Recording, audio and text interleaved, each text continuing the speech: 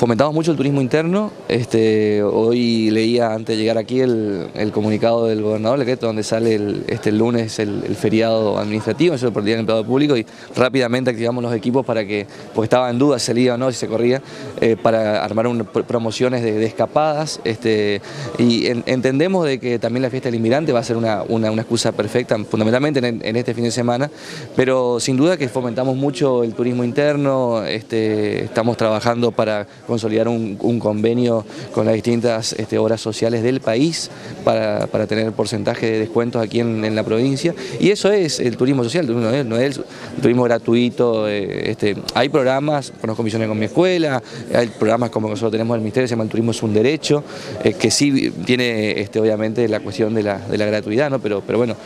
lo que buscamos con este tipo de, eventos eh, es entrar en la cabeza eh, de las personas que, piensan en el, turismo en la provincia y sin duda la presencia del doctor Clisber le va a dar el real necesario al evento. El ministro ha estado reunido con autoridades en Asunción, que resumen hace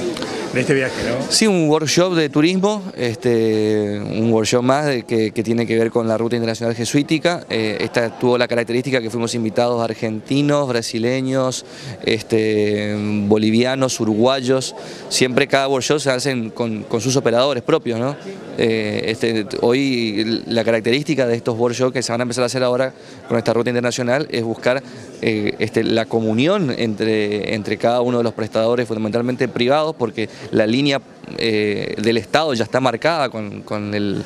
acto en San Ignacio, ¿cierto? Con, la carta de, intención, entonces buscar de que, de que eso que se firmó tenga forma de paquete, tenga forma de boleto, ¿no es cierto? Y, tenga forma de, obviamente, este, para, salir a vender al, mundo, a nuestros conjuntos jesuíticos eh, a nivel Argentina, Brasil, Paraguay, Uruguay, Bolivia, eh, buscando mm, este, mercados internacionales con una sola marca.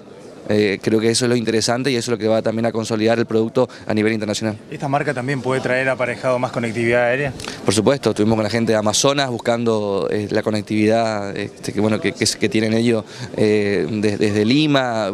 hablando también con, con Avianca para, para, poder generar digamos, las oportunidades en ese sentido, así que bueno, entendemos de que, de que hay mucho por hacer, la provincia se sigue consolidando como una provincia turística, pero el destino internacional se tiene que fortalecer día a día y eso buscamos.